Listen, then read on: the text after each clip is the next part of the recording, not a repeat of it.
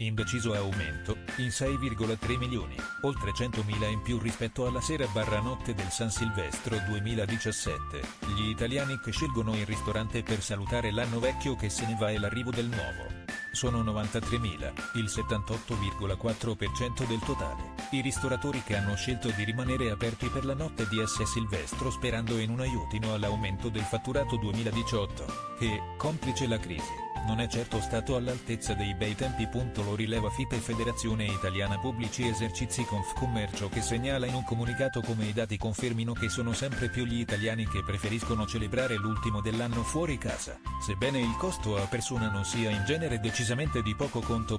In ogni caso, l'86% dei ristoratori si dice ottimista sulla possibilità di riempire il locale. 9 ristoranti su 10 puntano a offrire solo la cena per la notte di Capodanno, mentre solo il restante 10% ha deciso di prodigarsi nella messa a punto per i propri clienti anche un vero e proprio veglione, con spettacoli dal vivo e musica. Punto per quanto riguarda i prezzi, per il solo cenone FIPE prevede che occorrano appunto in media 80 euro a testa mentre per cenone più veglione se ne potranno spendere fino a 94 euro, o naturalmente anche ben di più se la scelta di Kipo cade su un locale di alta classe con menù ricco di prelibatezze e la presenza di artisti di chiara fama. La spesa complessiva stimata per i festeggiamenti della notte di S. Silvestro è di 507 milioni di euro.